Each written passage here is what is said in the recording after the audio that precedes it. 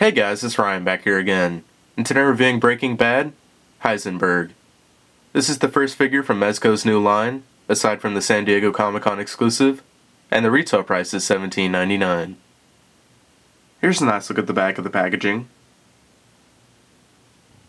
This version of Walter White is obviously a completely new sculpt, and it depicts the character as his drug lord name, Heisenberg.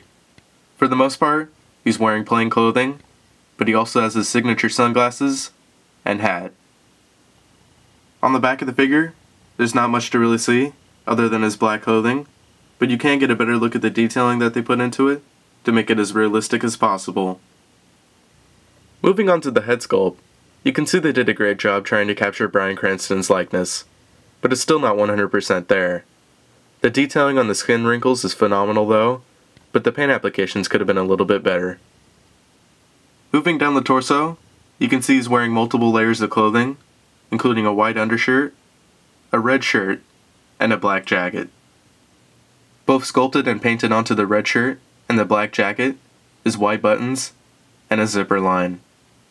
His belt's painted in black, and they also sculpted on a buckle, which is painted in silver.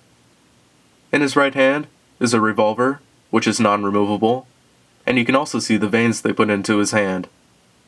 On his left hand is a gold ring, and they even went through the effort of sculpting shoelaces. Weapons and accessories include a removable hat and sunglasses, a bag of blue crystal meth, which is fake of course, and a duffel bag full of money. So for about $18, sure he makes a great display piece, but if you're looking for something that's super articulated and posable, this isn't the figure for you. I wish they would have included at least a few points of articulation so you can get some movement out of him, but other than that, there's not much else to complain about. When you display him on shelves, he does look pretty darn cool. So anyways, that pretty much does it for this review. Hope you guys enjoyed it, and I'll see you all in the next video. Subscribe for hundreds of collectible reviews, including Halo and Star Wars, and follow me on Facebook and Twitter for up-to-date channel news.